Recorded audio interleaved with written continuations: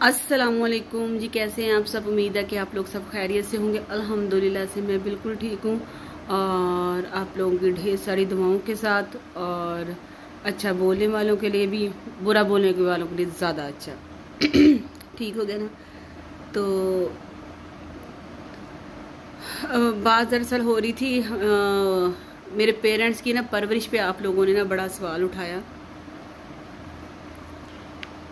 تو جس میں میں یہ بولوں گی کہ کوئی پیرنٹس دنیا کا ایسا نہیں ہوتا جو اپنے بچوں کی بری پرورش کرے، ٹھیک ہو گیا نا؟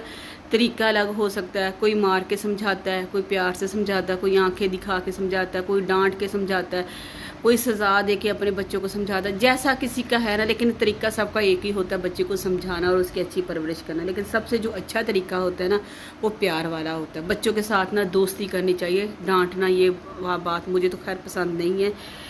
لیکن طریقہ بے شک جیسا بھی ہو، لیکن ہوتا سب کو اپنے بچے کو سمجھانا ہی ہوتا ہے۔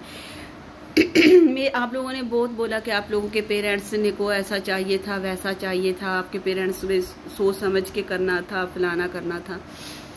کچھ بات نصیبوں کی بھی ہوتی ہے، ٹھیک ہو گیا نا۔ کچھ ہم بھی اپنا فیصلہ کچھ جذباتی ہو کے کر لیتے ہیں۔ ٹھیک ہو گیا نا۔ تو اس لیے پیرنٹس کا کچھ قصور نہیں ہوتا۔ پیرنٹس کتنی بار سمجھا لے جب انسان خود آپ کہہ رہا ہے کہ میں سمجھدار ہوں تو پیرنٹس بھی پیچھے ہٹ جاتے ہیں۔ اس سے آپ لوگوں سے بہتر یہی ہے، سمجھدار آپ لوگ بھی بہت ہیں۔ ہر بات میں اوپن بھی نہیں کر سکتی۔ تو خدایا یعنی کہ میرے پیرنٹس کو نہ آپ بولا کریں تاکہ میں اپنے پیرنٹس کو ہی بہت پیار کرتی ہوں۔ میری پیرنٹس میری جان ہے اور سب کی ہوتے ہیں۔ میرے نہیں، سب کے ہوتے ہیں۔ ماں باپ سے ہر کوئی پیار کرتا ہے، ٹھیک ہو گیا نا؟ تو دوسری بات یہ ہے کہ بات تو میں نے بہت ساری یہاں پہ راز کھولنے تھے، لیکن بات آ جاتی اب درمیان میں آ گئی ہے ہانیاں۔ تاکہ لوگ کہہ رہے کہ ہانیہ کو نا آپ نے نا فٹ بال بنا لیا وہ زیادہ تر ہو رہی ہے تنقید کا نشانہ بن رہی ہے میری بچی۔ میں نہیں چاہتی کہ میری بچی پہ کوئی الفاظ بولا جائے۔ دیکھو، بچی بھی میں صفائیاں میں نے نہیں دینی، صفائی دینا مجھے تاکہ میری ویڈیو پڑی ہے، آپ لوگ دیکھ لیں۔ جو بھی میں نے بولا ہے، وہ میں نے کون سا چھپا لیا ہے۔ ٹھیک ہو گیا نا؟ میں نے کوئی غلط الفاظ آج کے دن تک یوز نہیں کیا۔ میں بہن بے شک بڑی ہوں، میں عزت بھی اسے کرتی ہوں، پیار بھی کرتی تھی، لیکن خیر اس کو غلط مقصد کی سمجھ آ گئی ہے۔ دیکھو، یہ میرا چینل ہے، یہاں پہ میں نے ہانیہ کو ہنستے، کھیلتے، روتے، بیٹھتے، جو بھی ہے، سارے دکھاتے کہ آج میرا بچہ اس بات سے رو رہا ہے، یہ مانگ رہا ہے، اس کی یہ ضد ہے، یہ وش ہے، فلانا فلانا فلانا۔ اچھا پھر دوسرا لوگ آپ نے بڑا وہ سوال کیا کہ ہانیہ کو آپ نے لیا ہے، تو پھر پہلے ہانیہ سے آپ نے کیا بولتے ہیں اس کو سنیا سے چھین لیا، تو اب آپ ایسا کر رہی ہیں۔ دیکھیں میں نے نہیں چھینا۔ میرے پاس نہیں تھی، مجھے نہیں پتا تھا۔ ہانیہ جب میرے پاس آئی تھی، میں آپ سے اوپن ہو کے آج بات کر رہی ہوں، جو تھا مسئلہ، وہ سنا رہی ہوں آپ کو۔ ہانیہ جب میرے پاس آئی تھی، ہانیہ تقریباً تقریباً تین سال، اسکول نہیں تھی، جہاں تین سال سے ہانیہ کم تھی۔ سنیا نے دوسری شادی کر لی تھی آسم کے ساتھ۔ وہاں پہ شاید یہ لڑائی ان کی ختم نہیں تھی، ہو رہی۔ وہاں پہ بھی سر پھاڑ۔ تو یہ والا مسئلہ چل رہا تھا۔ تو بچی تھی، وہ خوف کھا رہی تھی، ڈر رہی تھی۔ وہ جب بچی میرے پاس بھاگ کے آ جاتی، تاکہ ہماری تو گھر میں ایک بچی تھی، ہم تو اسے لاڑ پیاری بہت کرتے سب کی سانجی ہے۔ میرے پاس آ جاتی تھی۔ مجھے اب بچلی بات کا نہیں تھا پتا وہ پھر میں اس کو چھوڑ کے آتی تھی، وہ پھر آ جاتی تھی۔ مجھے یہ تھا کہ اپنی ماں کے پاس چلی جائے، پھر وہ چھوڑ کے میں اس کو آتی تھی، وہ پھر آ جاتی تھی۔ اچھا میں نے اس کو پوچھا، وہ ایک بچی شروع سے نا تھوڑی سی سمجھدار اور مچور ہے۔ تو اس سے میں نے پوچھا، میں نے کہا، وہ سبھی کو مما بولتی ہے، میں یہ بھی بتاؤں، وہ سب کو مما بولتی ہے۔ مجھے مما نہیں بولتی، وہ سب کو مما بولتی ہے۔ میں نے کہا، بیٹا، کیا مسئلہ ہے؟ تو اس نے کہا، مما، وہ جو آسم ہے، اللہ انہیں جنت میں جگہ دے۔ کہ مما، آسم جو میرا نا، وہ چونڈیاں کاٹتا ہے، وہ مجھ سے، مجھے غصے سے دیکھتا ہے۔ تو میں نے نہیں جانا۔ اچھا مجھے بڑا عجیب سی بات لگی۔ تو میں نے پوچھا، میں نے کہا، ایسی بات ہے؟ تو کہتے، نہیں۔ میں چپ کر گئی۔ ہانیہ نے اپنے بچی ہے، گئی۔ سارے اس نے بچی، چھوٹی سی سارے کپڑے اٹھا لائی، اٹھا کے میرے پاس لے آئی۔ اس کے بعد وہ بچی میرے پاس سے نہیں گئی۔ بچی اس طریقے سے میرے پاس پہ آئی تھی کہ، ماما، وہ مجھے چونڈیاں کاٹتا ہے، وہ یہ ایسے ہے، وہ ویسے ہے۔ تو اس لیے وہ بچی چپ کر کے میرے پاس آ گئی۔ اس کے بعد میں نے وہ بچی اپنے پاس رکھی، پیار دیا، لیکن اس کو اپنی ماں سے زیادہ تھا، تاکہ سنیا کے ساتھ اس کو لگاؤ شروع سے بہت ہے۔ ٹھیک ہو گیا، لیکن وہ یہ تھا کہ ہم رہتے کٹھے تھے۔ وہ سنیا بے شک اس کو پاس پوس نہیں بھی کرتی تھی، لیکن اس کو اپنی ماں کی شکل دیکھ لی تھی پاس ہوتی تھی۔ اس کو پیار سنیا، اس کو اپنی ماں سے ہی ہے۔ میں نہیں جھوٹ بولتی، میں کیوں بولوں؟ اچھا اس کے بعد وہ بچی کو میں نے رکھا، اپنے پاس رکھا۔ ماشاءاللہ سے آٹھویں سال میں آپ لوگوں کو پتہ لگ لگ گیا۔ پانچ مارچ کو وہ آٹھویں سال میں لگ گئی اس کی برتھ ڈے آپ لوگوں کے سامنے کی تھی۔ اس دن سے لے کے آج کے دن تک وہ بچی میرے پاس ہے۔ میں کسی اپنی بہن کی دشمن نہیں ہوں، میں اس کو یہ سمجھانا چاہوں گی کہ سسرال میں بھی اس بیٹی کی عزت ہوتی ہے، جس کا پیچھے مائکے سے اس کو سپورٹ ہو، تھوڑا سا ان کو ڈر خوف ہو۔ اکیلے رہ کے یہ منہ پھاڑ کے نہیں تلق نہیں ختم کر دیتے کہ دوسرا، میرا ماں باپ سے کوئی تلق نہیں ہے۔ خوش قسمت لوگ ہوتے ہیں جن کے ماں باپ سر پہ ہوتے ہیں جن کے نہیں ہیں، ان سے پوچھ کے دیکھیے گا۔ ماں باپ کا اور اس کو کیا بولتے ہیں، بہن بھائی جن کے اکیلے ہیں نا، تو ان کو پوچھ کے دیکھیے گا، ان کی ان کے کیسی زندگی گزرتی ہے۔ بے شک جتنے بھی لوگ ہوں کمی ہوتی رہتی ہے۔ ٹھیک ہو گیا نا، تم نے پل میں آ کے نا ختم کر دیا، یہ میرا رشتہ نہیں ہے، میرا رشتہ نہیں ہے میرے شارے مرگے شارے مرگے کوئی تیرا نہیں تھا تیرا مرے نہیں تھے، لڑائی ہوتی ہے، سارا کچھ ہوتا ہے، رشتے ختم نہیں ہوتے۔ تم نے ایک پل میں اپنی بیٹی سے بھی رشتہ ختم کر دیا۔ چلو یہ تو میں نے آج کے دن تک سنا ہے اور ہوتا بھی رہا ہے کہ بیٹی کی وجہ سے بہن بھائیوں سے رشتے ختم ہو جاتے ہیں۔ تو اس کے بعد اس کو کیا بولتے ہیں، ماں باپ سے رشتے ختم ہو جاتے ہیں، بہت سارے ہوتے ہیں، لیکن اولاد کی خاطر ماں سارے اپنے بہن بھائی بھی چھوڑ دیتی ہے۔ لیکن تو نے ایک اپنے چھوٹے سے شوہر کی وجہ سے سارے رشتے ختم کر دیے۔ کیوں؟ اتنی کیوں مجھے تیری بات کی سمجھ ہی نہیں آ رہی؟ تو نے اپنے اتنا سے چھوٹے سے شوہر کے لیے سب کو چھوڑ دیا۔ تیری شوہر کی عزت، تیری شوہر کی عزت کرنا تیرے، تیری ذمہ داری ہے۔ ہم نے، ہمارا، ہماری یہ کہاں پہ لکھا ہوا کہ ہم تیری شوہر کی عزت کریں؟ کیوں کرے ہم تیرے شوہر کی عزت بھائی؟ ٹھیک ہے، جب وہ آتے ہیں، کیا نہیں عزت کرتے، اپنے گھر میں بٹھاتے ہیں، کھلاتے ہیں، پلاتے ہیں۔ وہ بھی ہماری بہت عزت کرتا ہے، میں کیوں بولوں؟ پتہ نہیں کیا تو لیکن یہ ہے کہ ہم اس کو ہر وقت سر پہ تو نہیں بٹھا کر رکھ سکتے۔ بھائی، ادھر بیٹھ جا۔ ادھر نہیں ہم بٹھا سکتے۔ سوری۔ ٹھیک ہو گیا نا؟ تیری اولاد ہے، تو نے رشتے ختم کیے پوری دنیا کے سامنے۔ یہ کوئی ویوز کا چکر نہیں ہے سیریس ہے، میں نہیں بولتی جھوٹ۔ اور اس کے بعد میں تجھے ایک بات بتا دیتی ہوں۔ ماں باپ کا تو پتہ نہیں، وہ تو پھر بھی گلے لگا ہی لیتے۔ تجھے ہر باری انہوں نے لگایا۔ لیکن میں پوری دنیا کے سامنے بول رہی ہوں، میرے گھر کے دروازے خوشی کے لیے بھی، غم میں بھی، میرا ہمارے میں سے کوئی مر بھی جائے تمہارے لیے بند ہے۔ بات ختم ہو گئی ہے۔ تیری بیٹی تیری نہیں ہے۔